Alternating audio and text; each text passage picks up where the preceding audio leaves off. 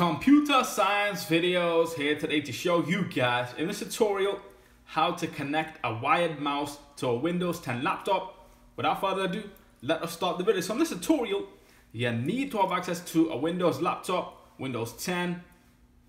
We also need a wired mouse as that's what this tutorial is all about. So we have that on screen. We can now connect our laptop to power in case we're on zero battery life boot into the OS, turn on the computer, wait for that to load, really depending on how fast your computer is.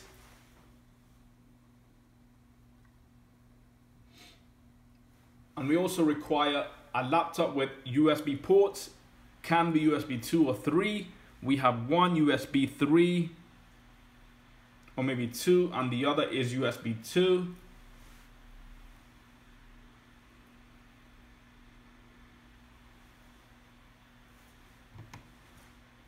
Enter your password.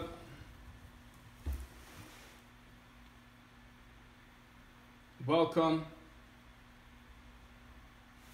Open up a Word document on screen.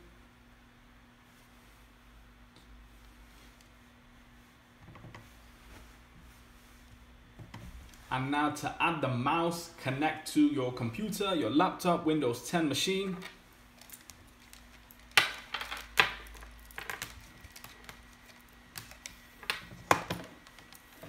Connect to the USB port which we see on the right hand side of the computer.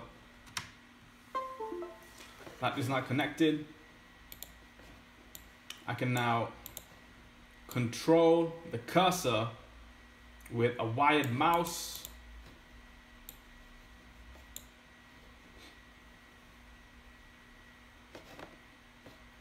Let's just type something Hello world. Control A, go to home, pin that, increase the size of the words we have on screen, highlight, change the bold, italics, underline. This is all happening from the wired mouse.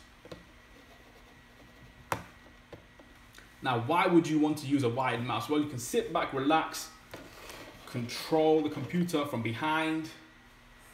Whereas if you have a trackpad and you're just stuck and glued to your machine, you can sit back and control, use the computer, use a couple of shortcuts. So we can now close out of the Word document, don't have to save.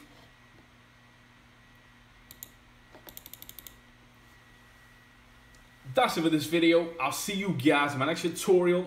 Thanks for now.